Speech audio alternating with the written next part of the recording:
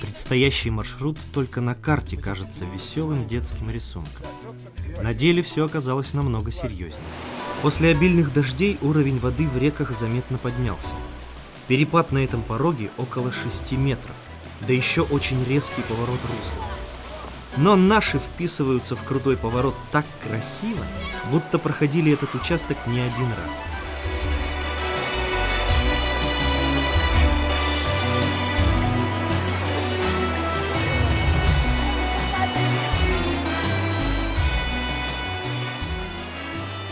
Прикольно, такой адреналин вообще супер просто. Ни с чем не сравнимый восторг победы. И может быть именно после таких моментов для этих ребят весь окружающий мир, пусть едва заметный, но все же обретает свою четкость и истинные краски. Речные завалы. Вот что потрепало всем нервы. Только войдешь в ритм сплава, стоп, завал. Порой они встречались через каждые 100-200 метров. И тогда все, чертыхаясь, доставали топоры, пилы, веревки и пробивали себе путь к чистой воде. Мокрые стволы выскальзывали из-под ног.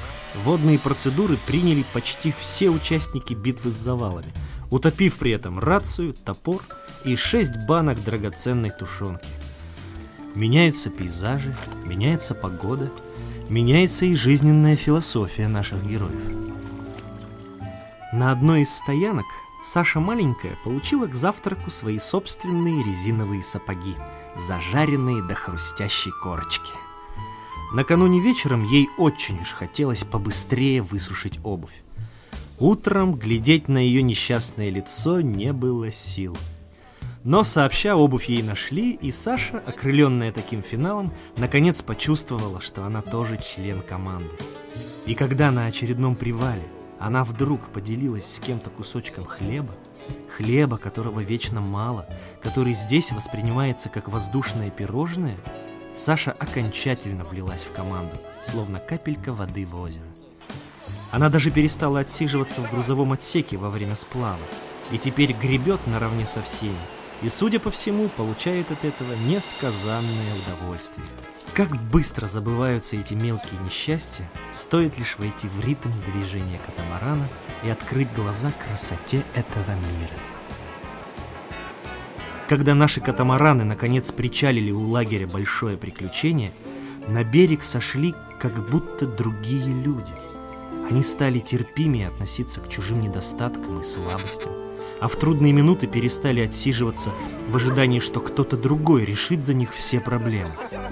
Это случилось не сразу.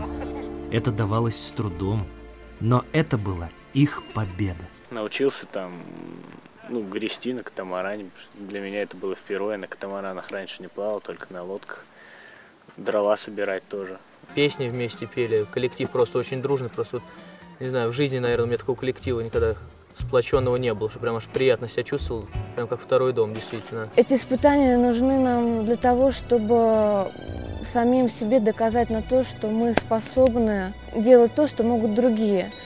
А в этом лагере очень, э, скажем так, теплое отношение а, вот к нам, ну, с теми, у кого вот есть какие-то дефекты или зрения, или слух. И, конечно, у лагеря жизнь только начинается, как у этих ребят.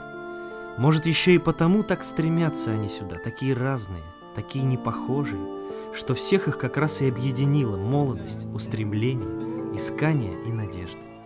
И те добрые традиции лагеря, которые сейчас складываются, ребята впитывают в себя и наверняка станут их продолжателями.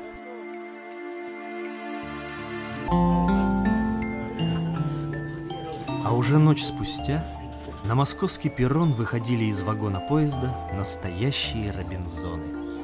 И глядя на их лица, было понятно, что каждый из них все-таки нашел свою пятницу.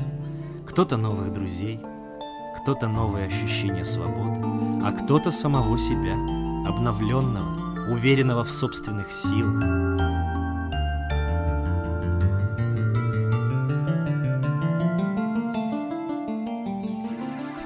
И обернувшись туда, к уже далекому берегу Миргубского озера, Наверняка каждый из них увидит, как над еще не остывшими углями едва колышется натянутый меж сосен огромный купол парашюта.